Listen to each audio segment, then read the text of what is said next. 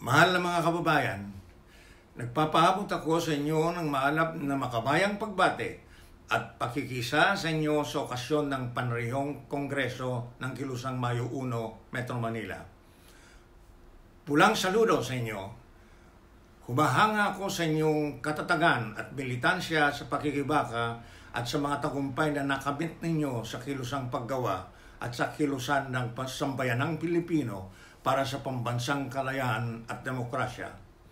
Pagkakataon ninyo ang Kongreso upang lagumin ang inyong karanasan at kalagayan, hanguin ang mga aral, magbatay sa naipon na lakas, pangibabawan ang mga kahinaan, harapin ang mga hamon at itakda ang mga tungkuling dapat tuparin upang isulong ang kilusang paggawa at kilusang pambansa demokratiko. Umayon ako sa inyong mga panawagan, sulong, masang anak pawis, palakasin ninyo ang uning manggagawa bilang namumunong puwersa sa fundamental na pagbabago sa lipunan.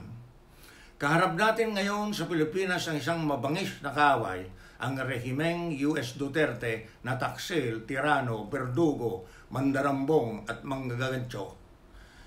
Papit ito ng dayawang monopolyo kapitalismo at pangunahing kinatawan ng mga lokal na mapagsamantalang uri ng malaking komprador, uh, sendero at burokrata kapitalista.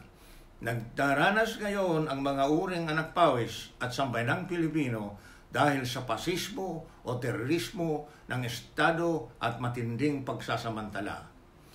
Mabilis ang paglubha ng krisis ng pandaigdigang sistemang kapitalista, gayon din ang palagiang krisis ng lokal na malakolonyal at malapyudal na nagaharing sistema sa ilalim ng neoliberal na patakarang nagpabilis sa nakaraang apat na dekada ng akumulasyon ng kapital sa kamay ng monopolyong burgesya at nagpaliit sa kita at empleyo ng mga manggagawa at iba pang anak pawis kabilang ang mga nasa gitnang saray.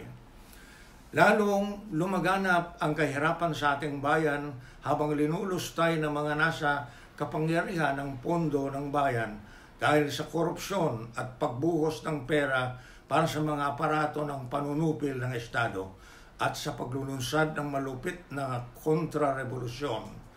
Lalong nalantad ang kabulukan ng nagaharing sistema sa pagsulpot ng pandemya tulad ng COVID-19 at mga kalamidad, bunga ng walang kumpay na pandarambong sa kalikasan.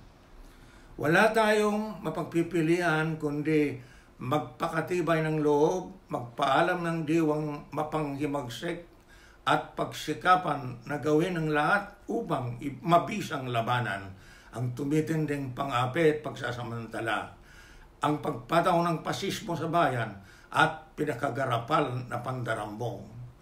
Ginawang patakaran at batas ng Diablong Duterte ang tinatawag na red tagging at arbitraryong paglista ng mga aktivista, kritiko at sanugat sa kanyang rehimen upang arestuhin at idetine ng wala mang na mandamiento, itorture at kikilan at paslangin sila tulad sa Oplan Tokhang.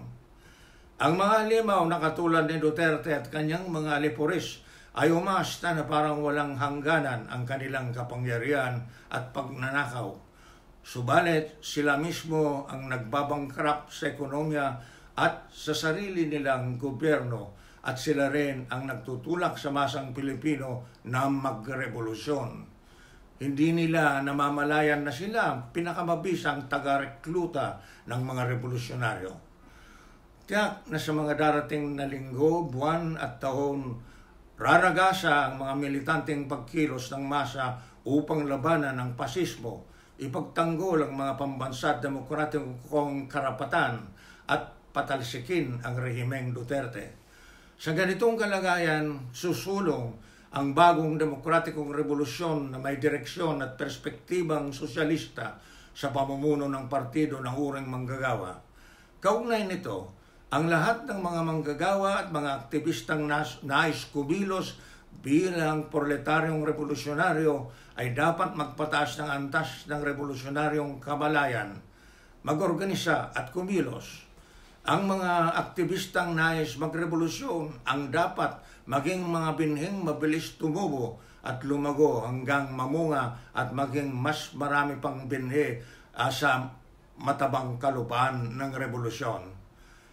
Mabuhay ang kilusang Mayo 1 sa Metro Manila at buong bansa. Isulong ang kilusang paggawa at kilusang pambansa demokratiko.